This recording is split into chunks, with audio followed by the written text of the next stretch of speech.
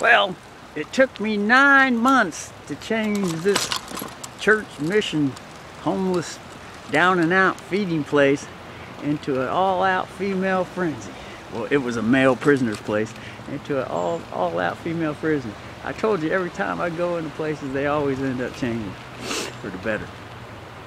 But uh, then I had the vision last night, you know, I gotta, I gotta at least go back and revisit these guys every once in a while. It's kind of like military presence. When you go into a country and you liberate the people in there, you know, you, you do you do want to visit every now and then and make your presence known to maintain that presence. So, because I haven't been to the mission here in a month or so, but